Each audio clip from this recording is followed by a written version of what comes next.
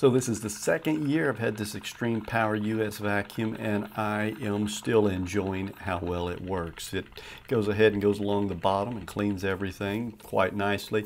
Now one of the things I hear a lot is it goes in the same path a lot and you just got to let it run an hour, two hours, and then maybe remove one link from the hose, reattach it. That'll shorten it and give it different operation of places to go. Also, uh, change the direction of the return.